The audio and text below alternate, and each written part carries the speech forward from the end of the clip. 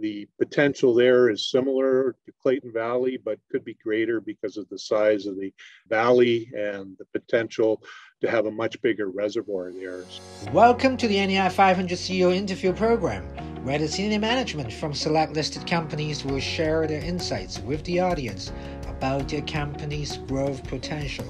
In this episode, we had the opportunity to speak to David Watkinson, the CEO of AmeriWest Lithium, a CSE listed company with a trading symbol of AWLI. AmeriWest is a lithium exploration company focused in Nevada and Arizona. A few highlights that readers should know before watching the interview. Increasing the adoption and production of battery powered vehicles is driving the demand for lithium.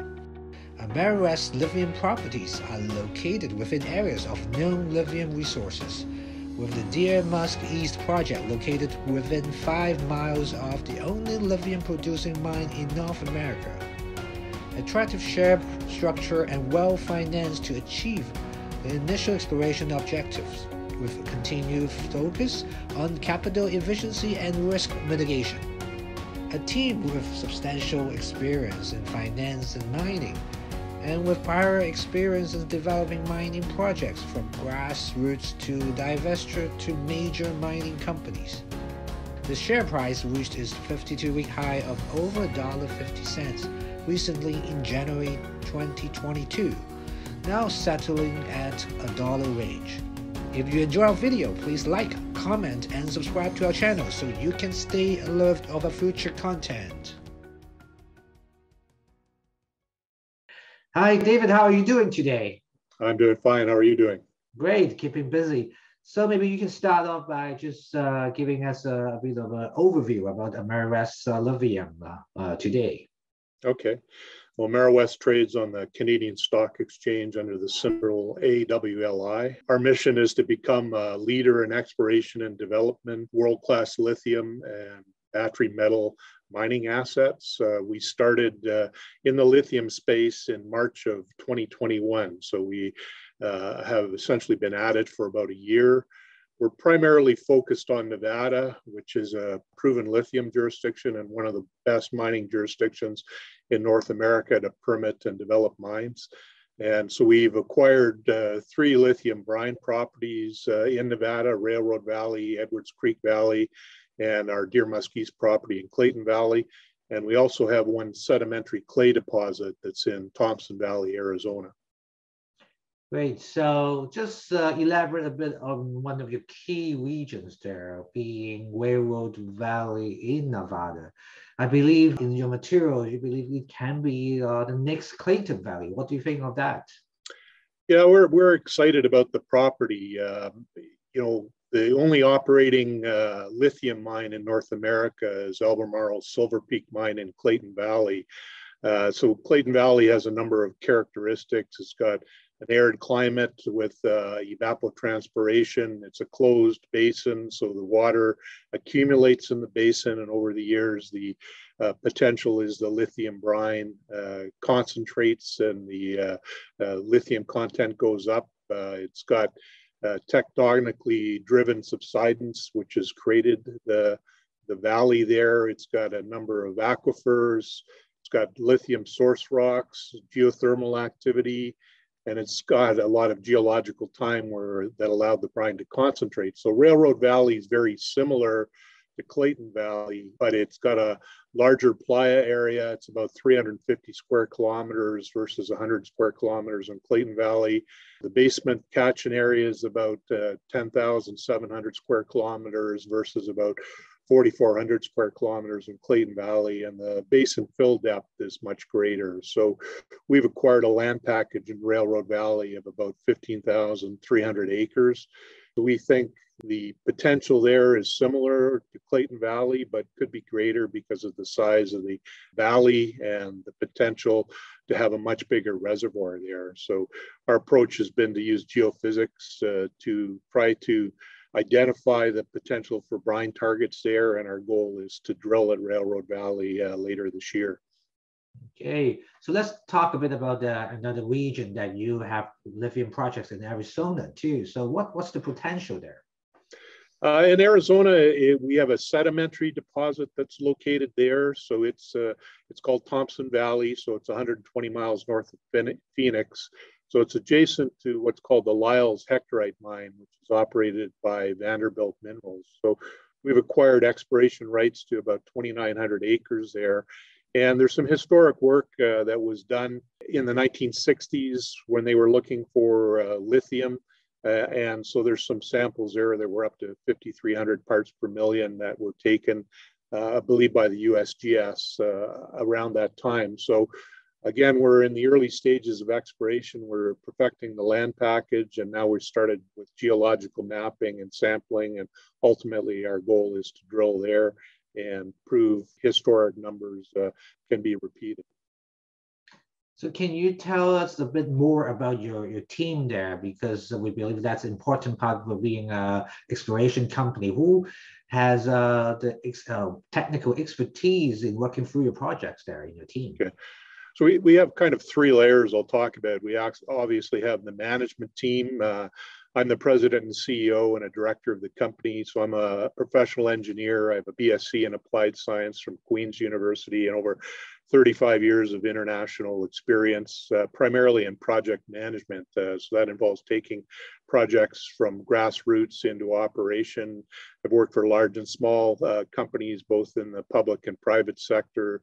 So I, I, have a very diverse background that includes roles in mine operations, engineering, contracting and construction, and, and also corporate management.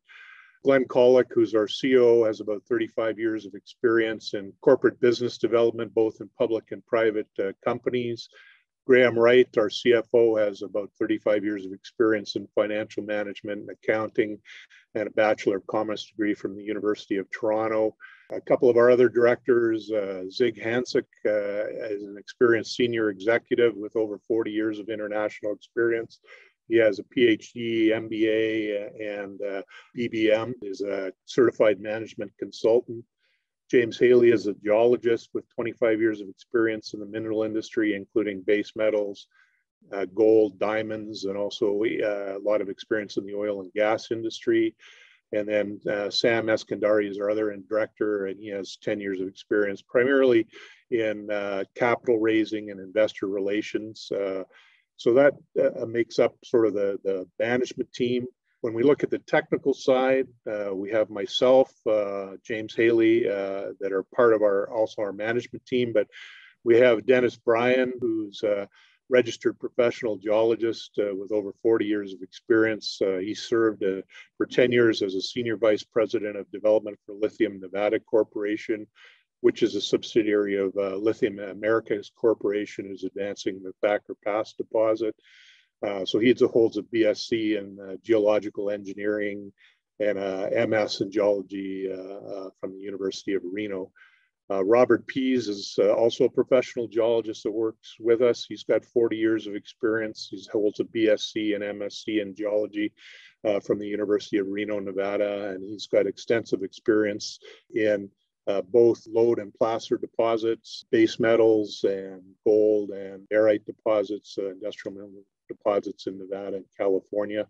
And he's a member of the American Institute of Professional Geologists. Uh, Greg Bell has 30 years of multidisciplinary engineering experience. Uh, so he's got MS uh, and BS in chemical engineering from the University of Colorado and Wyoming respectively. Uh, so he's a professional engineer in Arizona and Utah and has a certified groundwater professional recognized by the National Groundwater Association.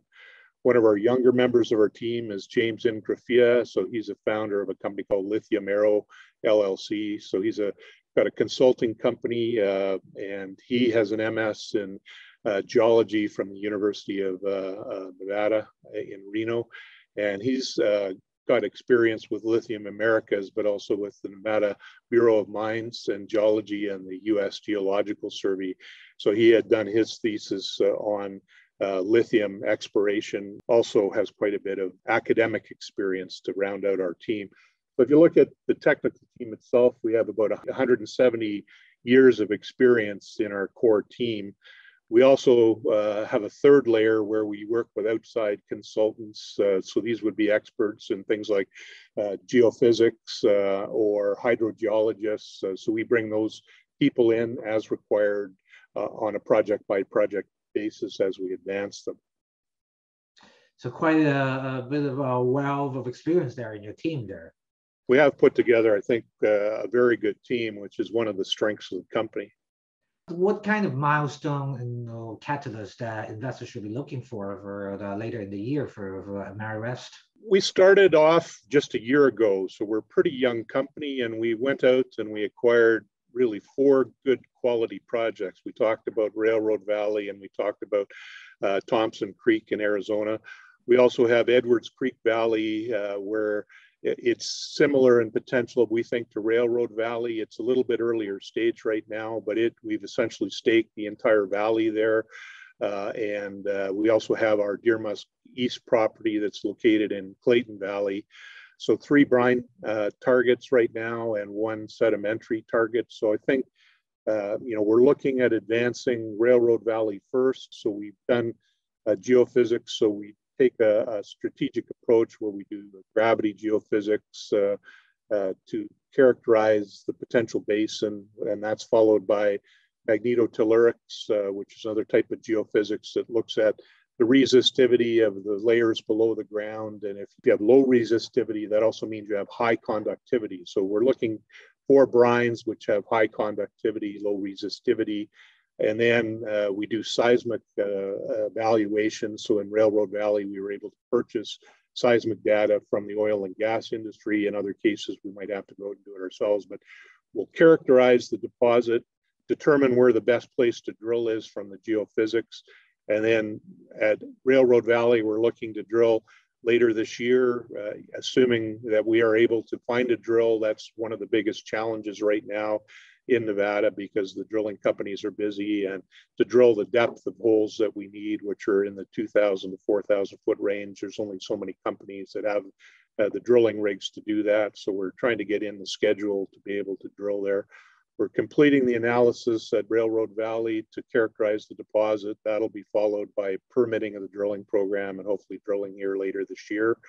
And then Edwards Creek Valley will be a little bit behind that. Uh, we started to do done the gravity work there. We started to do the magnetotellurics, and then the playa got wet last December because of precipitation. So we're waiting for it to dry out, and then we'll go and finish that work off, do seismic work, and get it ready to drill. So it'll be probably second in the process.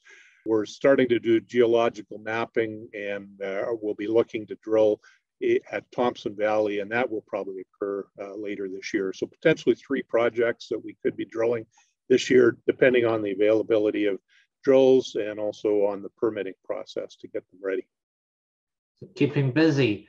So sure. the last question to you today. So any lithium company that you really look up to, uh, as say one day you want your company to become that, uh, and why? Uh, you know, that's a hard one to answer. You know, there's some big uh, lithium companies that are operating uh, primarily in Australia, Chile, China, and Argentina.